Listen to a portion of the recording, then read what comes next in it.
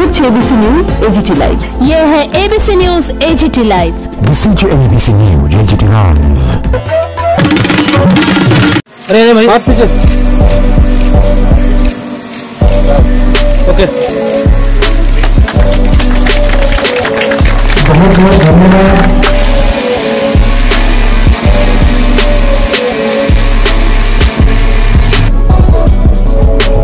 सभी नीति दोनों की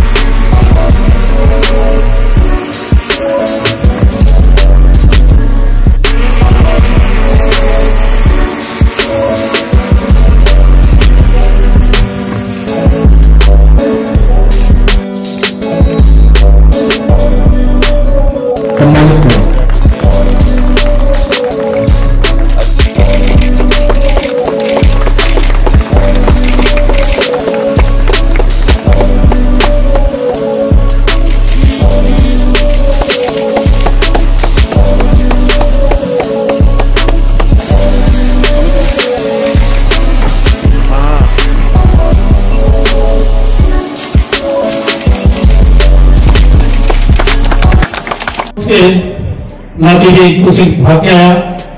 इसमें देशद्रोही थे और देश भगत भी थे। तो हमारे उस समय में दिल्ली शहर के रुस्तम शाह जी थे? तुरंत एक्शन लेने वाला जवानों की और पार्टी की जो है, दुख दर्द को समझने वाला।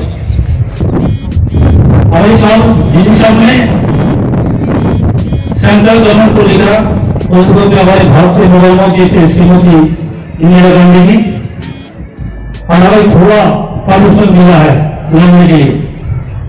हम भगवान इसलिए है कि बीएसएफ में इतने एक हार्ड कोर्स किया था, जिसको बोलते हैं कमांडोज वो कमांडोज हमें टेकन में ट्रेनिंग लिया वापस अपनी रूट में जब हम ज्वाइन किया, हमारे कमांडो साहब ने हमें घुमाया सामाजी दी और इस टीम को तैयार करने के लिए आदेश दिया। तो उसमें एक तो कोर्स करता गया, आता गया और जितने हो सके अपनी ऑफ़र की आदेश, निर्देश के पालन करके उनको तैयार किया। ऐसे तकरीबन अठारह महीने बीत और बांग्लादेश की लड़ाई शुरू हो गई तो हमें बहुत इंपॉर्टेंट टास्क मिला। जैसे कि सोनपुर में बहुत बड़ा बीज है। तो बीज को उड़ाने के लिए। हमने किया सक्सेस हुआ बीज उड़ा गया दिन में हम भारत में चलाया रात को जो है बांग्लादेश का जाए साइकोडल मैप मैप को घुमाओ कहा किस टारगेट को उड़ाना है। और किस को मार भगाना है। तो इसी तरह टारगेट मिलते रहे, हमको समय समय नहीं मिलता था। आपको है। तीन जाना है, बिल्कुल मिलता था सामने भवन स्वयं में जाके बाउंड्री लेस क्लियर के पास जा करके हमें इतना दिया जाता था आपको उस जगह में जाना है। और गंगा ब्रिज बहुत बड़ा मज़बूत ब्रिज ब्रिटिश का बना हुआ ब्रिज उसमें हमने डेमोस्ट्रेशन किया। उसमें ध्यान रखने की बात ऐसा है कि पहले दिन जब हमने गंगा ब्रिज को डेमोस्ट्रेशन करने जाना था हम तकरीबन सदर से चार किलोमीटर पीछे था। उस समय हमारा अमेरिका वैज्ञानिक कमांडर साहब थे एक भूसा ये तो भगवान की काम किया, तुरंत हमें बुला लिया।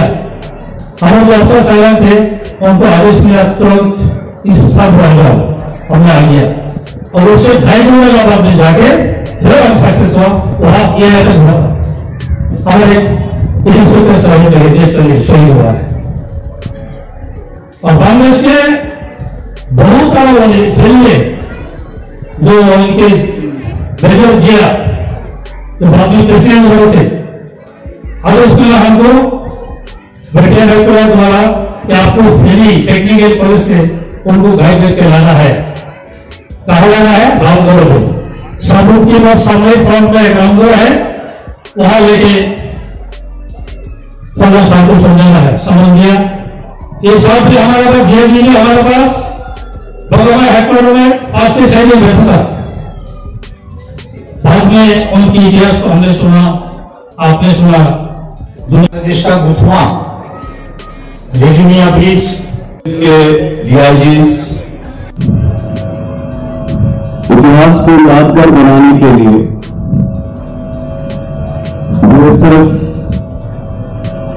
सेंटर द्वारा महत्व दिया जाता है। इंटरनल सोवरेनिटी को सबसे ज़्यादा महत्व दिया जाता है, भाई और बहनों। तो आप अपना काम जारी रखिएगा।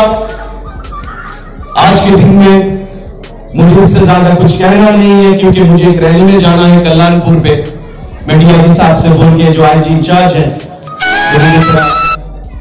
come up with flying color in order to give proper shelter to every individual of our country to the motherland. Thank you very much. और वहीं के साथ जो बांग्लादेश से कल्चरल जो आर्टिस्ट यहाँ पे आए हैं जो हमने देखा वो शायद आगे भी परफॉर्म करेंगे मैं इन सबको बधाई देता हूँ यहाँ पे हमारे असिस्टेंट हाई कमिश्नर जो अमन का जो एटमोसफेयर है हमारे बीच, भाईचारे का जो रिलेशन है, वो हम आगे ले जा सके।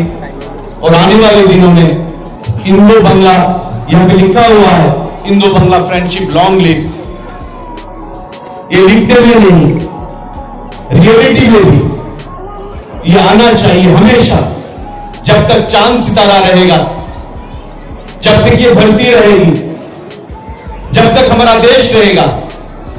तभी तक बीएसएफ रहेगा। इंडिया बांग्ला का फ्रेंडशिप लॉन्ग लिव हो जाए, वही हमारा आज की इस प्रोग्राम से नारा रहेगा भैया और बहनों। इसी शब्दों के साथ मैं बीएसएफ को, हर एक जवानों को, इनके परिवार परिजनों को नमन करता हूँ। मुझे यहाँ पे बुलाने के लिए के लिए इकट्ठा हुए हैं। बीएसएफ का क्या रोल रहा है? जितना कहा जाए उतना कम है? मुक्तियुद्धा इन लोगों को खिलाने में इन लोगों को ट्रेनिंग देने में इन लोगों को सही तरह से लड़ाई कैसे लड़ा जाता है, ये सिखाने में बीएसएफ का एक बहुत बड़ा रोल रहा है। सिर्फ़ यही नहीं पैंसठ का चलना शुरू हुआ देश में।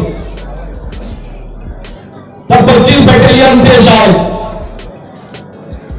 आज बैटेलियन बढ़ के एक सौ नब्बे, एक सौ बिरानबे हो गया है। बजट क्या है? बीस हज़ार करोड़ रुपए से ज़्यादा आज बीएसएफ का बजट है देश में। होम मिनिस्ट्री के अंडर में मैं बात कर रहा था कल डीआईजी साहब से जो अभी आईजी के इंचार्ज है मिस्टर बनियाल से। मेरे घर आए थे कल, कमांडेंट साहब को लेके। मैंने पूछना चाहा, इस फ्रंटियर के अंदर में कितना है बटालियन बोले, अठारह बटालियन टाइम में हमने ये देखा है बीएसएफ का रोल क्या रहा है। उसको छोड़ के भी ऑपरेशन भूस्टार हो 1984 का। हमने देखा बीएसएफ ने कैसे हिस्सा लिया। जहाँ इंसर्जेंसी होती है।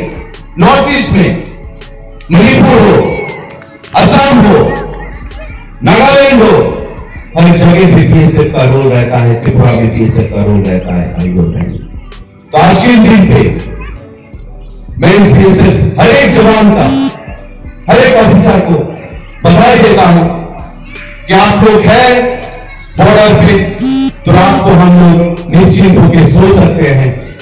आप लोग हैं हमारे बीच, हमारा देश पूरा निश्चिंत है कि आने वाले दिनों में, जैसे पिछले दिन हुआ था, अगर आने वाले दिनों में हमारे दुश्मन जो भी हैं, अगर वो भारत की तरफ़ देखे, हमने देखा कैसे हमारे जवान डोकलाम में, लद्दाख में जो चाइनीज़ सेनाएँ भारत के टेरिटरी में वो लोग घुसना चाहते थे।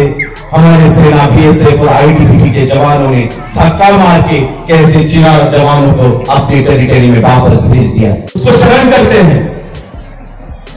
जहाँ के भारत के गृह मंत्री, उसको शरण करते हैं।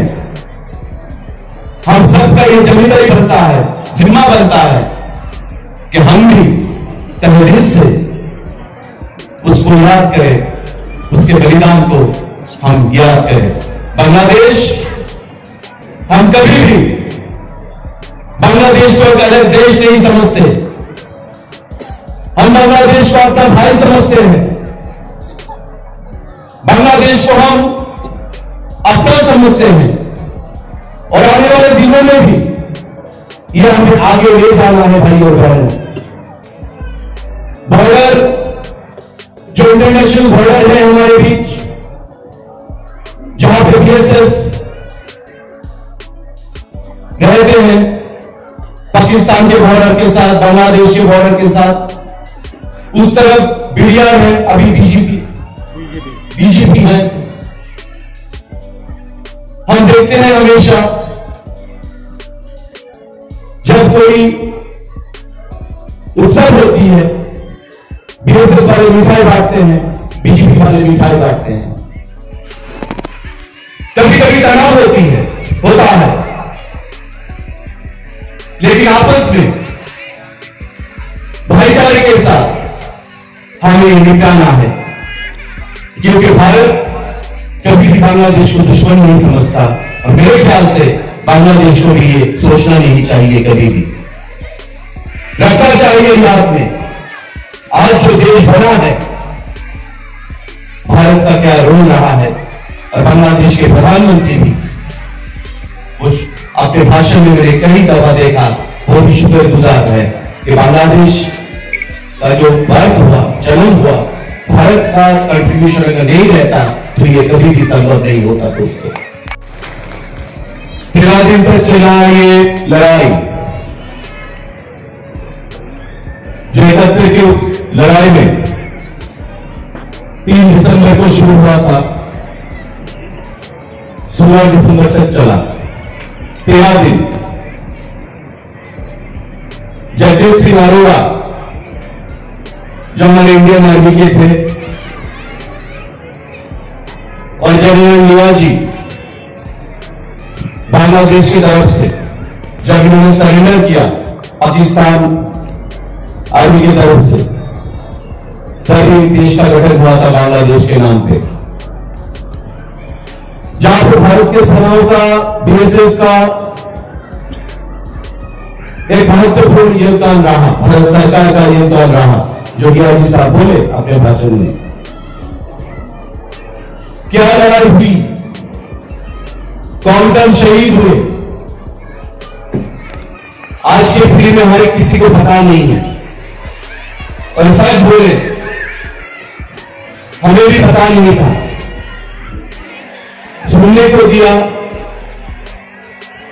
दादा से, परदादा से, आपके पिताजी से।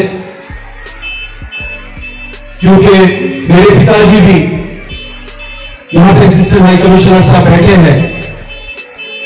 उस बुकी युद्ध में, लड़ाई में वो बीएसएफ से नहीं थे आर्मी से नहीं थे, सिविलियन थे। उनका भी योगदान रहा। और बांग्लादेश के प्रधानमंत्री शेख हसीना ने 2013 साल में उनका कंट्रीब्यूशन के लिए उसको रिवार्ड भी दिया, ढाका में ले जाके।